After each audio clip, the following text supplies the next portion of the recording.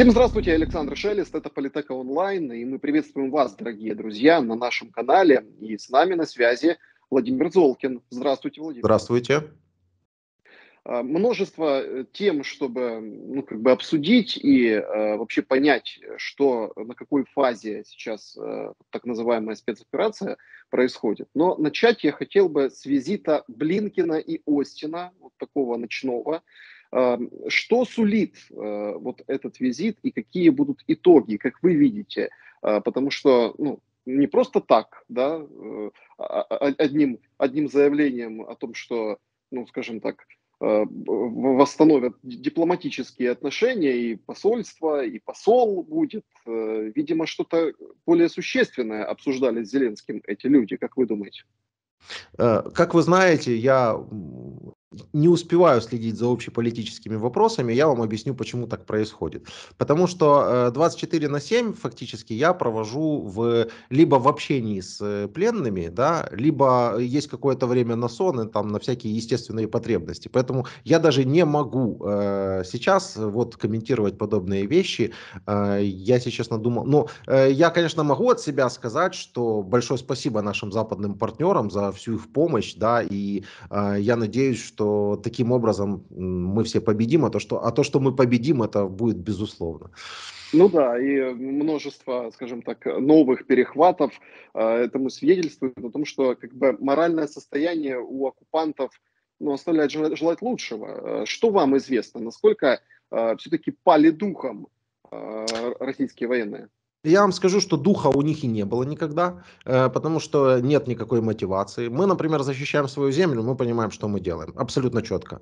Э, россияне это люди, которые э, идут сюда убивать за деньги, то есть это есть наемники обыкновенные самые наемники, потому что у них есть зарплата и есть а, приказ идти и делать то, что они делают. А, в всю эту чепуху про нацистов, э, фашистов и прочую э, ересь, о, о которой им говорили, они этого даже не знают толком половина. Половина слышала звон, но не знает, где он. Это не может быть мотивацией. Это не может вызывать никакие чувства, это не может вызывать никакой дух, потому что они толком сами не понимают, что происходит, почему они сюда едут. Все, что они знают, это что у них есть зарплата, и если очень сильно повезет, то компенсация для родственников в случае чего. А что касается духа боевого, конечно. После того, как э, они увидели, услышали и передали своим то, что здесь на самом деле происходит, что их никто не, ждал здесь хлебом солью, а наоборот э, обгоревшие тела, обгоревшие клоны и все остальное прочее, ну, они, э, естественно, уже с гораздо большей осторожностью относятся к тому, что они делают, и уже вот, вот этих вот бравурных заявлений, которые были изначально, и заказов столиков на 23 февраля у нас в Киеве, мы уже этого как-то вот не слышим, и оказывается, что они уже не, за, не собирались за три дня захватить э, Киев, да, а оказывается, что они вообще не собирались. То есть, ну, российская манипулятивная вся эта история уходит в, в стандартный принимает свой вид, то есть, да, э, они э, отказываются от того, что они говорили говорили месяц назад и полностью уже меняют свою риторику. Вот, вот уже, уже, им, уже им Украину им уже захватывать не нужно. Сначала было нужно, потом они рассказывают, что это не так просто, теперь уже вообще оказывается не нужно. А завтра я уверен, что э, будет следующая ситуация. Они э, объявят у себя какую-то великую победу, не знаю, под каким соусом они ее подадут. Как по мне, так все равно. Пусть подают ее под любым соусом. Мне плевать, что они там своему стаду расскажут. Э, скорее всего, они подадут это как какую-то победу, что вот мы достигли какого-то результата, и на этом военные действия, активная фаза сворачивается. И как по мне, очень хорошо, если вот так вот будет, если так вот случится. Пусть скормят э, своему народу, пусть скормят своему народу все, что хотят, и пусть побыстрее заканчивают то, что они делают. Если говорить о пленных, какое у них э, состояние, ну что ж, это люди, которые на свои глаза увидели все то, что произошло, более того, что увидели, они прочувствовали это, и они попали в ситуацию, когда а, вчера они были в основном все просто обыкновенными солдатами, которые ездят там по каким-то учениям, даже толком стрелять не умеют. Потом их ночью вывезли в Украину под покровом ночи, они оказались в Украине. Через два дня их колонну разбили, и тут они бац находятся в плену. Некоторые даже без ручек и без ножек. Э, ну, э, что, что говорить о их состоянии? Ну, естественно, они ненавидят свое правительство, естественно, они ненавидят тех, кто их сюда отправил. Естественно, они понимают, в отличие от их родственников, которые которых мы звоним, уже понимают, что на самом деле здесь происходит. Так а в чем, э, ну, собственно, вот в чем дело, как вы можете объяснить, когда там звонят, э, ну, мы звоним э, родственникам, а те, э, ну, скажем так, ну, Ваньку валяют, в прямом смысле этого а, слова. Никакого Ваньку они не валяют. Есть, их можно условно разделить на три категории. Одни полностью зазомбированные российской пропагандой, а вторые работают по инструкции, то есть их уже проинструктировали, что и как нужно говорить, а говорить, ну там, я политикой не интересуюсь, я ничего не знаю, я не я, хата не моя. И есть третья, э, самая маленькая часть, ну те, которые действительно говорят то, что они об этом думают. И да, на них тоже каким-то образом, конечно, повлияли и инструкции, и их средства массовой информации, так называемые, но тем не менее, э, в основном они высказывают свое реальное мнение, а реальное их мнение, что это все никому не нужно, о том, что их детей послали в качестве мяса, и о том, что спасибо нам большое за то, что хотя бы дали поговорить с ними по телефону. Вот примерно такая реакция. Ну, э, скажите, вот э, история, которую Михаил Подоляк опубликовал о том, что требуют выкуп, и 5000 э, евро да, стоит жизнь солдата. Насколько это ну, такая часто встречающаяся история? постоянно встречающаяся история, то есть им постоянно звонят э, из России, э, то есть они ж, они, ну, они ж методами не брезгуют никакими абсолютно. Для того, чтобы дискредитировать нас в глазах своих граждан, они не брезгуют абсолютно никакими методами угрожают, запугивают официально и шантажируют э, по возможности, конечно же, тоже применяют такой метод, что давайте нам столько-то денег, давайте нам то и все и так далее, и мы отдадим вам вашего там ребенка. Ну, э, как я уже много раз говорил, то, то, чем я занимаюсь, оно никоим образом не связано с финансами, то есть вообще. И никакого выкупа никто не может э, просить с нашей стороны за их э, людей по определению, просто потому что они у нас содержатся все под счетом, они у нас содержатся все официально. Именно поэтому за ними уход, э, присмотр за ними, да, за пленными лучше, чем за нашими заключенными обыкновенными. Их с заключенными с нашими пересекать боятся, чтобы их не забили просто, да, я прошу прощения, вот на, на ходу где-то, потому что заключенные они тоже имеют имеют свои взгляды, да, несмотря на то, что они заключенные. Так вот, за ними э, максимальная изоляция от всего и от всех, и максимальный медицинский э, присмотр за ними, чтобы, не дай бог, никто не заболел тяжело, и никто, не, не дай бог, не умер. И тем более такого, такой истории, как то, что один заключенный где-то пропадет и за выкуп куда-то уедет, это чепуха, ну, просто, просто, просто полная, насколько это возможно, чепуха. Э, как вы относитесь к вариантам ну, вот, обменов а, и ну, вы обменами не занимаетесь, но, как бы, но, но насколько вот об, обмен пленными вот сейчас важен на этой стадии войны? Максимально важен обмен пленными. Ну, во-первых, Зеленский-то, конечно, он хотел поменять всех на всех, и об этом прямо российской прессе говорил. ну, э, аморфное, аморфное существо по фамилии Путин никак на это не отреагировало, что тоже понятно, потому что оно, оно аморфное.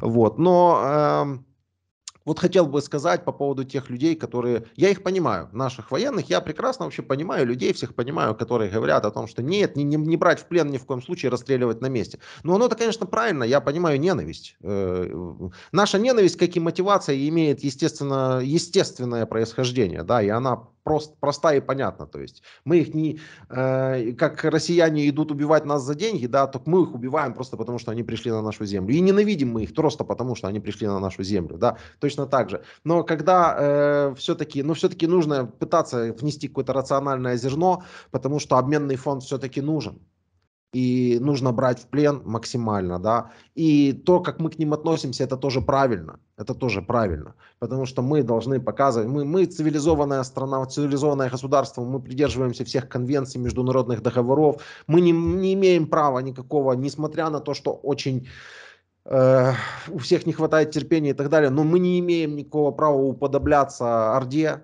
уподобляться России, э, мы должны делать все правильно, цивилизованно и грамотно. И, соответственно, конечно же, как я могу относиться к обмену пленных, если там наши люди? Как я могу относиться к нашим людям? Да, конечно же, мы хотим их забрать. Это россияне, это Орда может кричать, что это фейк. Я им показываю их человека с их соцсеть. На тебе соцсеть, на тебе родственник, на тебе адрес. Что тебе еще надо? Это фейк. Но я же не, не орк, чтобы так относиться к своим людям. Да это наши люди, мы это признаем, отдайте нам их и заберите того, кого там считаете нужным. А как вы думаете, какая судьба э, вот, ждет э, военнопленных российских э, по возвращению на родину? Или, скажем так, ну, это уже дело, дело пятое, десятое, и нам до этого в принципе нет никакого дела? Не, э, нам до этого нет никакого дела, кроме того, что есть уже фактические данные о том, что они приезжают, мне об этом пишут, э, о том, что они приезжают туда. Сначала говорят, что с ними все было хорошо, замечательно, потом проходят через конвейер спецслужб, и потом выдают видео, э, фуфлыжная, нарезанная ерунда, там 30-секундная, с пятью грубыми обрезками, о том, что здесь они знают, они слышали, как здесь над ними издевались. Потому что тот человек, который, один из тех людей, который это говорил, был у меня на интервью, там записано у меня с ним получасовое интервью без единой обрезки. И э, просто, как говорится, почувствуйте разницу да, между тем, что они выдают там у себя и то, что делаем мы. Э, и даже у него не хватило или хватило совести не сказать, что лично к нему, лично к нему применялись какие-то силы. Он этого не сказал. Но он говорит, он слышал и он знает о том, что вот было вот там-то, там-то, то-то и то-то.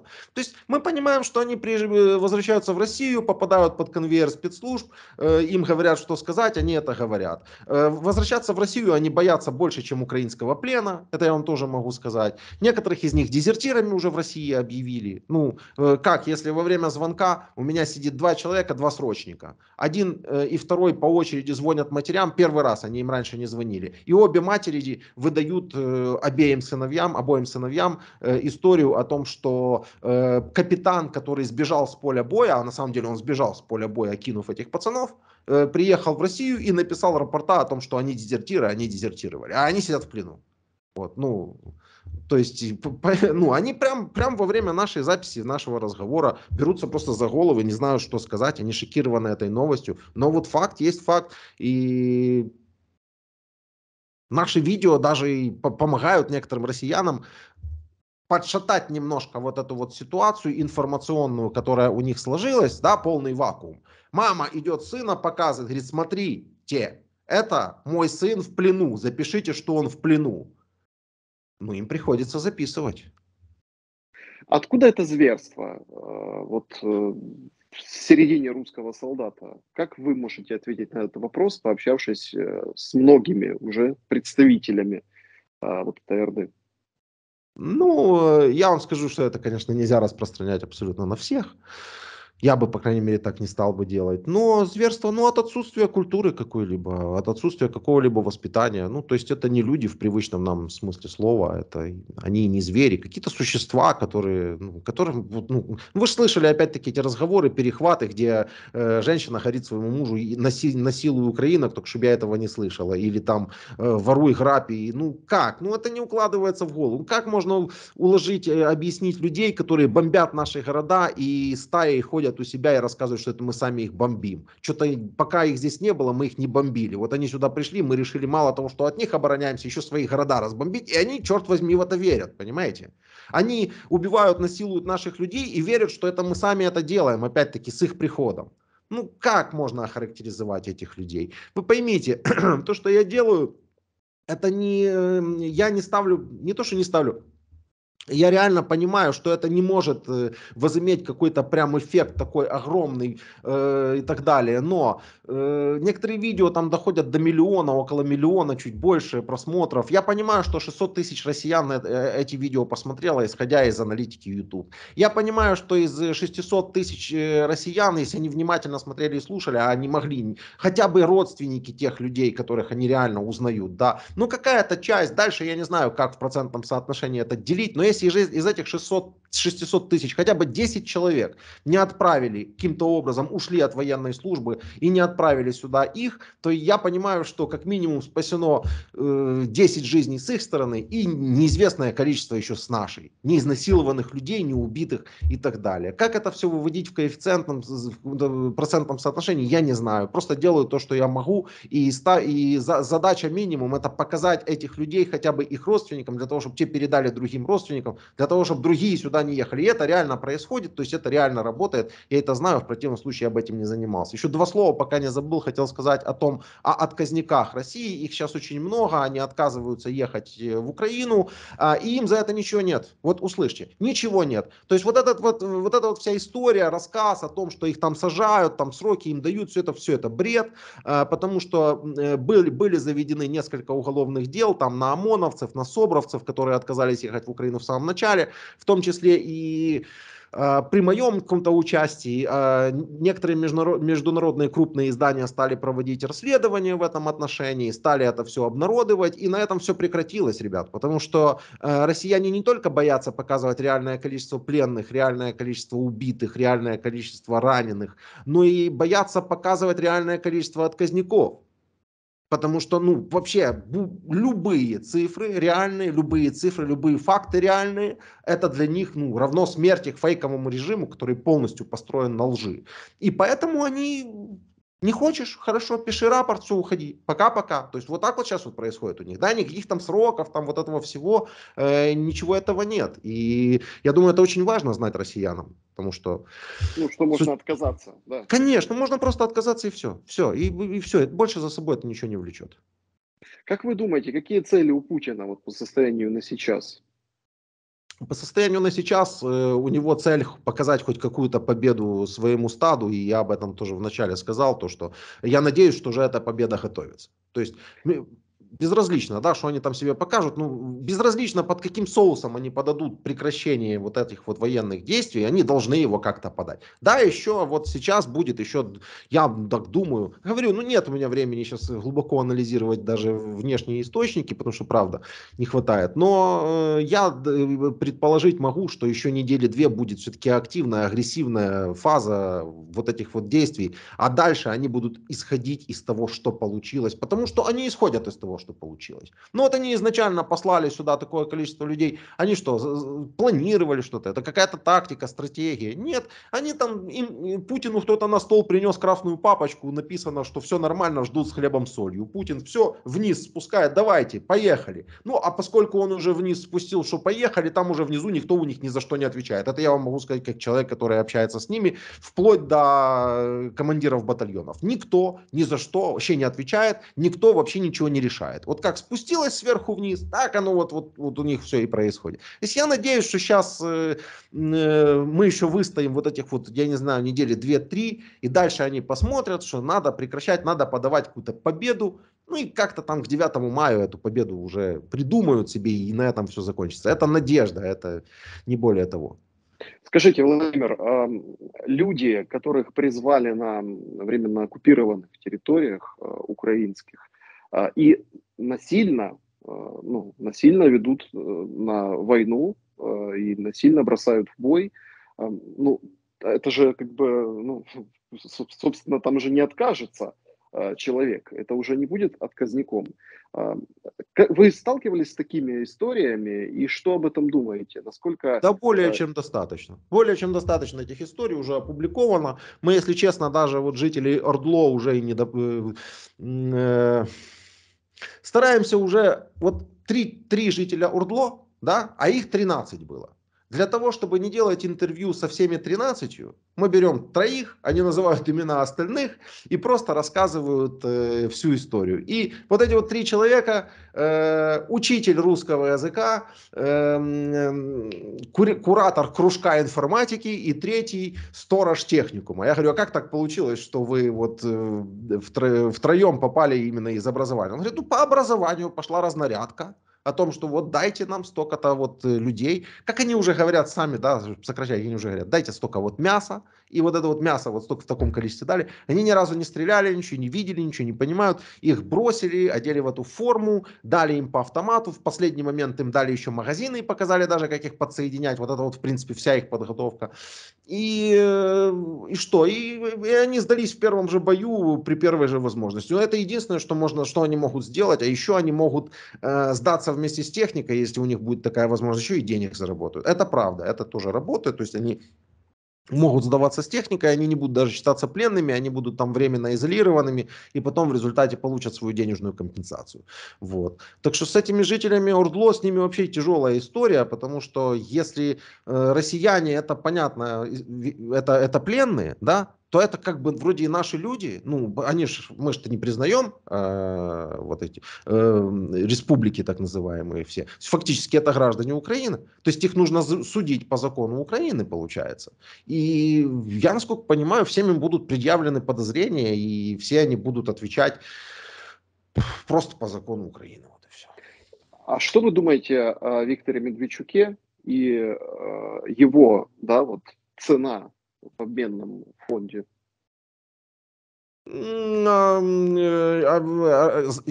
прошу прощения, а заявлено что-нибудь по поводу того, что его вообще собираются куда-то менять? И с Россией были какие-то данные о том, что он вообще кому-то интересен? Я ну, такого не слышал. Просто ну, была идея на обмена, и он сам как бы вызвал. Да, это я слышал, что он СБУ сказал, хочу там меня поменять. Э, Оксана Марченко там э, или, или не Оксана Марченко, и как-то она очень сильно изменилась, не знаю, э, тоже рас, обращается то к одному, то ко второму, то к третьему. Правда, непонятно, почему она к президенту Украины обращалась на русском языке. Мне кажется, что до сих пор до нее ничего не дошло еще. Вот. И, э, и знаете, я бы э, поступил бы, наверное, следующим образом. Сейчас уже, сейчас уже Медведчука нужно э, протоколировать максимально и максимально быстро судить.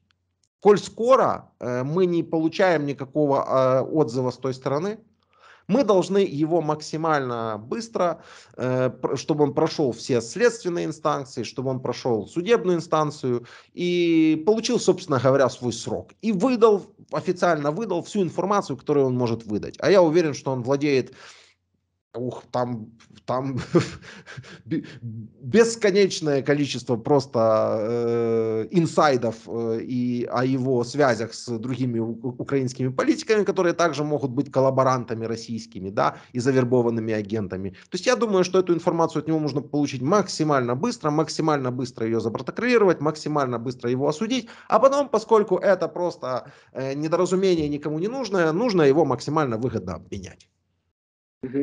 А, на ваш взгляд, а, что вот с защитниками Мариуполя, а, что с ними будет? Потому что ну, там, несколько раз уже пред, предлагали сдаться российские военные, но ребята держатся там и говорят уже о том, что будут выкуривать химическим оружием, что вполне возможно будет именно в Азовстале. Как вы думаете, вот это продлится еще долго, аж до освобождения Мариуполя украинскими войсками, или же ну, вот так получить по зубам и получить э, по рукам э, вот Путин, да, который предлагает, ну, скажем так, уже сотый раз предлагает сдаться, а вот как-то, знаете, э, никто, никто не бежит с распростертыми объятиями, э, скажем так, в плен. Абсолютно, э, скажем так, другая ну, я, я понимаю ваш вопрос, но еще раз, был, был бы я каким-то военным экспертом, я бы сейчас бы придумал какую-то хитромуд, хитромудрую формулировку, которая бы, возможно, бы кого-то бы успокоила или обнадежила, или еще что-нибудь. Мне очень больно самому по поводу того, что происходит в Мариуполе, и очень больно по поводу того, что происходит с защитниками Мариуполя. Я не понимаю и не имею для себя ответов на, на множественные вопросы, почему мы не, не, не, не как-то не пытаемся прорвать эту блокаду, почему не, мы не пытаемся их освободить. Мне это тоже, знаете, просто по-человечески э, болит постоянно, я тоже я об этом думаю. И когда вот тяжело бывает с этими орками, уже не хватает сил, я все время вспоминаю, что а вот им там хватает сейчас сил, знаете, то есть каждый должен, это наш пример, это, это пример нашего героизма и нашей доб, доблести. Э, но, но давать комментарии относительно этого, честно, не моего ума дело просто. Ну да, украинцы не сдаются. Не, я имею в виду давать комментарии относительно того, как будет и как может развернуться ситуация, чем закончится. Ну, да, это действительно, ну, я некомпетентен. Скажите, э, на ваш взгляд, э, вот российские ну, солдаты, да, которые сейчас находятся в плену э, это, ну, а насколько они вообще нужны и ценны Украине с перспективой для там, международного э, суда и суда над самим Путиным? А, смотрите, насколько я знаю из интервью, которые, из процесса интервью, которые проводятся, э, многие из них добровольно сажаются на, садятся на детектор лжи и показывают, что они не насиловали, не убивали, э, в мирных не стреляли, скажем так. Насколько я понимаю, это и есть первичный обменный фонд. То есть люди, которые ну, в тяжелых преступлениях не, нигде не, э, не засветились. И насколько я понимаю, это и есть в основном мои респонденты. То есть э, я их, конечно, не выбираю, вот, но у меня в основном те, которые, что-то так получается, что те, которые 23-го их там кинули, завезли под покровом ночи в Украину и так далее, разбили через два дня, ну что они такого особенного могут рассказать, правда, честно, да. И было, конечно, пару эксклюзивов вроде Красноярцева, ну, не знаю, хорошо, что так произошло, но по поводу того, что они будут использованы, и все их свидетельства будут использованы для международного трибунала, безусловно. А вот по поводу перспектив вообще этого международного трибунала, и насколько я в него верю, э, знаете, с нашими партнерами, с их глубокой обеспокоенностью и глубочайшей, как оно называется, я, я, я, не, я не очень верю в, вообще вот в международные демократические институции, в том числе и в Международный суд. Я считаю, что и ООН, и вот это вот все, оно уже, как, оно уже дав, давным-давно, мне кажется, прогнило и себя исчерпало. Мне кажется, что мир вот прямо сейчас что-то меняется, да, и после этой войны что-то что должно измениться, потому что э, международная бюрократия, она уже она уже исчерпала себя. Вы верите в то, что э, россияне смогут сбросить Путина? Нет. Я верю в то, что он скорее может э, умереть естественной или неестественной смертью. Вот в это вот я верю. Я верю в то, что его окружение до него может дойти, что проще сделать так, чтобы он умер естественной смертью, нежели это все продолжать, потому что это катастрофически для России, и люди, которые не полностью отбитые, там это прекрасно понимают. То есть они прекрасно понимают, что э, до всей, всей России может прийти, в общем-то, то есть от, от, вместо того, что они там про Украину рассказывали все время, что Украину там поделят на кусочки, надо тогда, тогда, так вот это вот как раз может с Россией случиться. Китай себе свою часть заберет, Штаты себе свою часть заберет. Может, это, конечно, очень такие э, обширные заявления могут быть с моей стороны, но тем не менее, э, умные люди прекрасно понимают, что Россия будет обескровлена и обезоружена во всех смыслах после, если вот этот вот военный конфликт с Украиной продлится еще э, какое-то время. И, возможно, они захотели бы как-то немножко сами сделать так, чтобы побыстрее скончался их этот вождь, который э, судя по всему, страдает глубокой формой шизофрении и полностью э, абстрагирован от э, реальности, которая вокруг него происходит. И еще я верю в то, что что вот как я сказал по поводу отказов, да, что вот, вот идут отказы, и они для того, чтобы не афишировать эту всю информацию, уже не заводят даже уголовных дел. Просто вот, вот так спускают.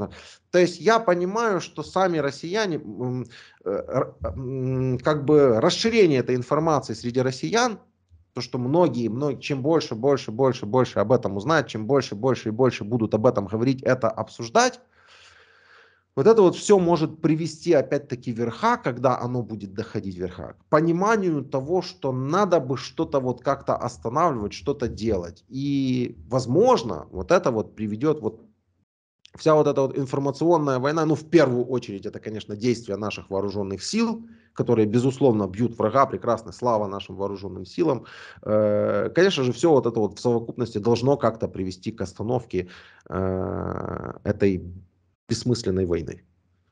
Вы видите перспективу в переговорном процессе, который сейчас происходит по видеосвязи, и вот все никак они не договорятся о том, что встретятся Кулебе и Лаврову, э, или не говоря уже о Путине и Зеленском?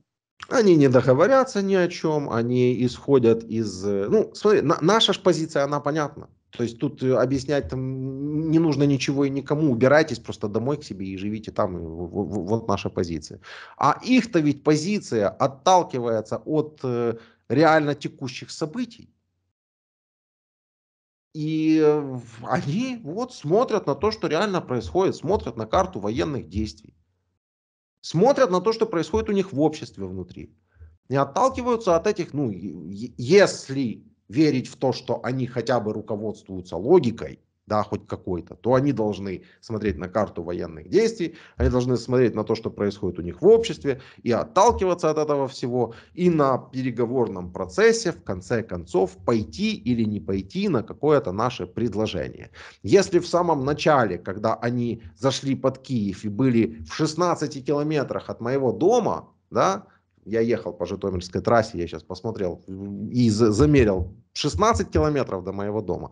Э, если тогда у них были позиции более крепкие, да, и они могли совсем ни о чем не говорить, да, вот, то есть тут, тут все будет по-нашему и все, то сейчас, когда э, их позиции заметно ослабли, э, видимо, они уже могут соглашаться на какие-то другие предложения. Ну а в конечном счете они согласятся только на то, они понимают только силу когда они окончательно поймут, что дальше продолжать свое продвижение по захвату украинских территорий они не могут, то им придется, с одной стороны, показывать у себя какую-то победу, ну, мол, нацистов уничтожили, да, мифических. Ну, а с другой стороны, на переговорном процессе тоже идти уже э, к какой-то точке понимания.